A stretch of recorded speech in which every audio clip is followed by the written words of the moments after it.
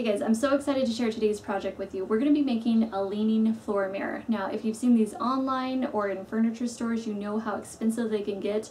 I was looking online and I was like, you know what, there is no way I'm ever going to be able to get a hold of one of these. So let's go ahead and try to make our own. So Michael and I went about making our own and I'm going to show you all the steps that we took. It was so simple and so easy. And we actually ended up using scraps from previous projects, so don't be afraid of that. You can always find reclaimed wood or, you know, whatever sort of scraps you can find and you can kind of piece it together and it can come out really cool. So that's what it's all about is making a unique piece that you are going to love and it's going to fit your personality and your home. So let's go ahead and get started. So this is a leftover piece of MDF uh, that Michael cut out um, from a previous project that we did. He's cut this out to fit the mirror that I have. I picked the mirror out first, so let me show you that. So this is a beveled edge mirror that I picked up at Lowe's it was about uh, $27, I believe. Um, but it's nice quality and it's fairly thick. And what I wanted here was a 5 inch border all the way around or a 5 inch frame. So that's the size that we're going to be doing. You can just go to the long point there and make a mark. And then put your square on there. And that's a 45 angle there. So I'm going to, well that's called a miter. I'm going to miter the corners with the trim. I've already cut this down to five inches wide.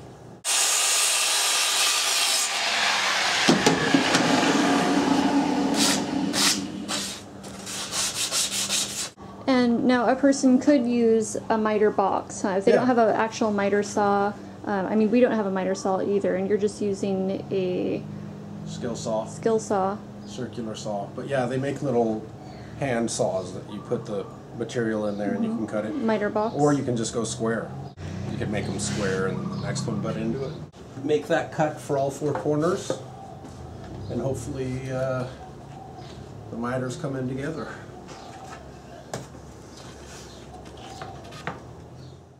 I wanted to create an aged, kind of weathered look to the wood, so I used a solution of white vinegar, which I poured into this glass mason jar. I filled it up halfway with the white vinegar, and then I used this ultra fine steel wool. I dropped in just one piece. You could unravel it if you want, but I just dropped it right in there and then I place the cap back on just lightly. You don't want to tighten it, it needs to be able to breathe. Now take a look at this nasty looking solution here. This is my vinegar and steel wool.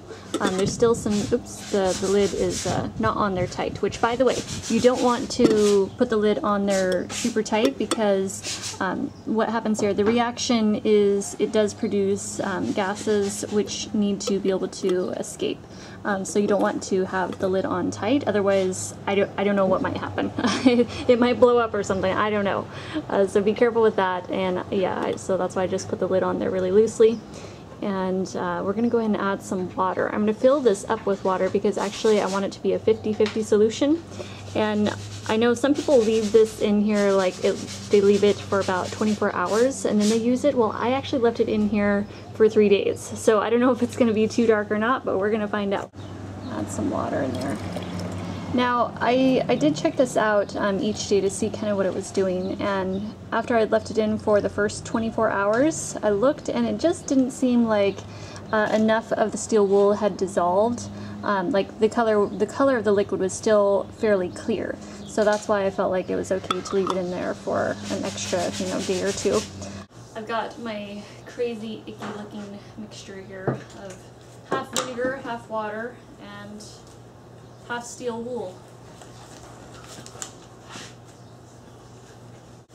Now, if it turns out that I don't like this, the look of this, like if it's too dark or something, that's okay, because I was kind of on the fence about whether I should stain it or paint it white. So this is all just an experiment.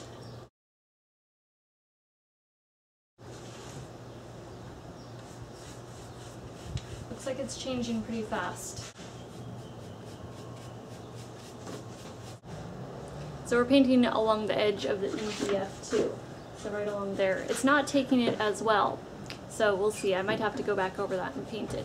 What we might do after this gets a chance to dry, because I'm only going to be able to see how the color really turned out, like how light or how dark it is, after it finally dries. Because right now it's still wet, so it looks extra dark. But if it does turn out to be darker than I want, then we may mix up a whitewash and kind of paint that over it. So we'll see. While it's still wet, I do want to show you what it looks like before. So we'll do the before and after. Let me flip a board over so you can see. So if you can see what that looks like now, here's what it looked like before. Look at that, fresh and clean. Suddenly it is, well, weathered and, well, fairly dark. So we're gonna just see what that looks like after it gets a chance to dry. So we're gonna make uh, whitewash. Stir it up. I don't know what the ratio is. This is just kind of an eyeball it thing. So put in some about yay amount of paint. And then put in some water. A thousand percent better. thousand percent. Oh, look, look at that piece. That piece, I think, came out really neat. Um, you know, except it's got a little rust spot there. But uh, that's okay. But it's funny because the wood all came out different, like all four pieces. So that's part of the variables about wood, because I guess if it starts out slightly different color, then it takes a little bit differently. But um, I think this should help even everything out.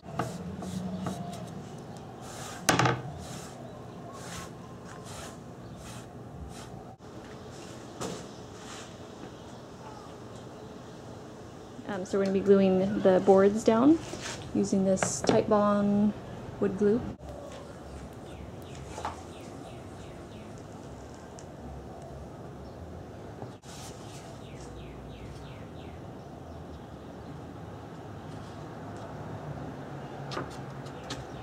Yeah, and if you don't have uh, clamps, you can just put a weight.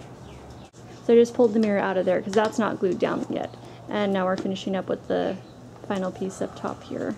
So now all the frame part is glued down. So now Michael's applying the mirror mastic.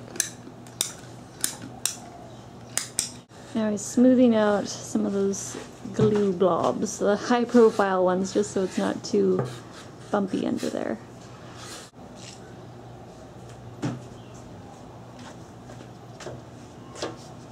So now we're just pressing the mirror down gently, just to make sure it really locks onto that mirror mastic. And that was all there was to it. It was so easy and the fact that we were able to utilize pieces and scraps from previous project really worked out and it can save you a lot of money. So this is it. I love the, uh, the kind of gray wash to it. It just really reminded me of a French country cottage kind of finish, you know, that sort of distressed look. So that worked out really well. I'm really stoked with it and I'm so happy to finally have a full length mirror. I love using the kind of raw cedar because it really brought out, um, you know, a uniqueness to each piece. Uh, so it's not, you know, completely uniform, and that's what makes ma makes doing these yourself really special because you can come up with sort of whatever look you like. If you like a lot of knots in it, or if you want to use pine or some other type of wood, you can totally do that. It's really just about what you like. So I'm going to go ahead and let you guys go now. Thank you so much for watching, and I will see you in the next video. Bye.